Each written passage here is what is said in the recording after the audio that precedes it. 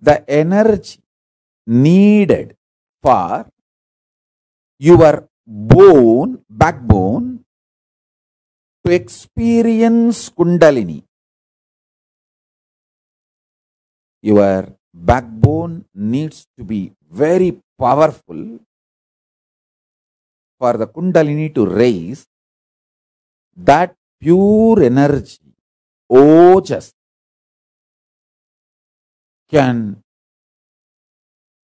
you can be charged with ojas if you sit under the banyan tree and do pranayama. Any pranayama, if you sit under the banyan tree or the breathing space of the banyan tree,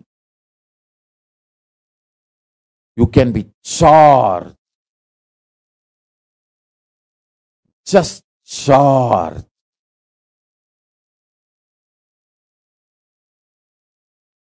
With that ojas shakti. Our Bidadi banyan tree Kalpavriksha has a unique power, even if you are not physically there in Bidadi Ashram, Adi Kailasa. If you just see the live web camera relay and sit in front of it and do pranayama, you will experience same. You will experience same.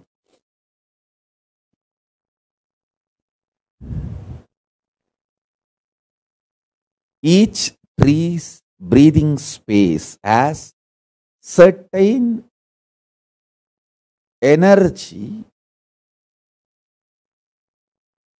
when you do pranayama under that tree, that energy gets filled inside your system.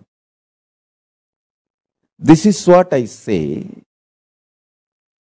Without dumping the food, making your internal organs very active, alive.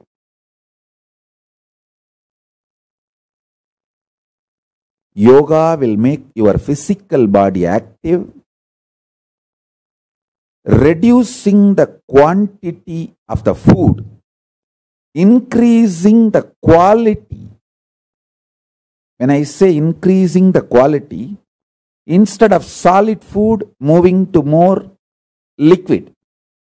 From liquid, moving to more air, prana based food. This Mauna Swami was taking the prana, air based food. Same way, if you burn pure rice, pure cow ghee with the proper mantras and do the Agnihotram with a pure cow dung cake, organic cow dung cake, desi cow dung cake. With that, if you do the Agnihotram, that smoke, that air can keep you hunger free, fully charged, all your internal organs active at least for 8 hours. One Agnihotra. You can be foot free for 8 hours active. Agnihotris are bound to live long, healthy. Agnihotris are bound to live long and healthy. Because the quality of food is absolutely pure, great, powerful.